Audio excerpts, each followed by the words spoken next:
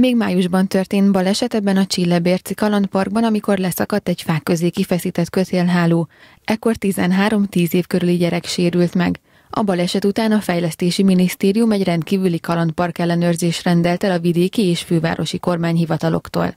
A Fogyasztóvédelmi Hatóságnak egyébként évente van ellenőrzési és vizsgálati programja, ahol az úgynevezett mutatványos berendezéseket ellenőrzik, ebbe a kategóriába sorolható a kalandpark is.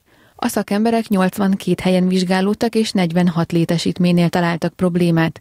Az első ellenőrzés után júliusban ismét felkeresték azokat a parkokat, ahol korábban valamilyen hiányosság volt. Szabolcs-Szatmár-Bereg megye statisztikája szinte az egyik legjobb, ugyanis az előző májusi ellenőrzés során két darab kalandparkot ellenőriztek a megye fogyasztóvédelmi kollégái, és az egyikben már akkor sem találtak semmilyen problémát, tehát kifogástalanul működött.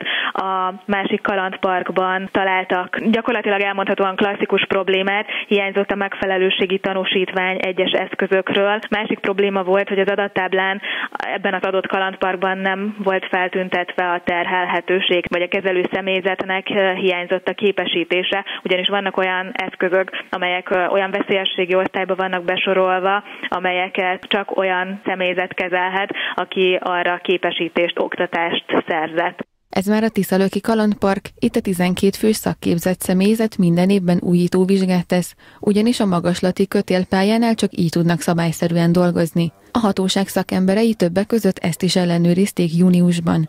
A parkot üzemeltető cégcsoport elnök vezérigazgatója elmondta, a belépéskor a legfontosabb szabály, hogy mindenki megfelelő védőfelszerelést kapjon és helyesen használja a karabinereket.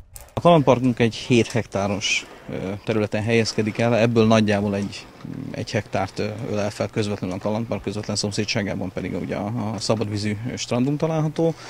Maga a park, mint kötélpálya 70 73 akadályelemből áll, három becsúszóból, ehhez társul még hozzá az országban egy egyedülálló földalatti csőlabirintus, egy zuhanóhinta, és van egy foglalkoztató helyiségünk, egy kalózhajó is. A kalandparkok célközönsége a fiatal korosztály, ezért is fontosak ezek a hatósági ellenőrzések. A különböző szintű akadálypályák például magassághoz is kötöttek. Itt is a lökön falmászópálya és egy egyedülálló zuhanóhinta is várja a vendégeket. Ezeknél az elemeknél még fontosabb a biztonság. A megyében működő két kalandpark közül ezt már az első ellenőrzési körben is szabályosnak találták a szakemberek.